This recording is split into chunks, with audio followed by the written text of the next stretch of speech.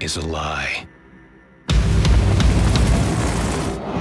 Just because they write it down and call it history doesn't make it the truth.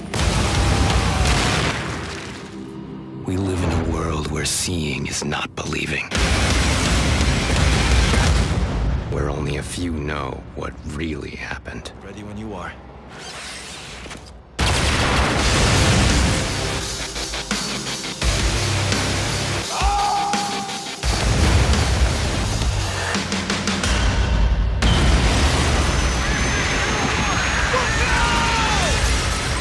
We live in a world where everything you know is wrong.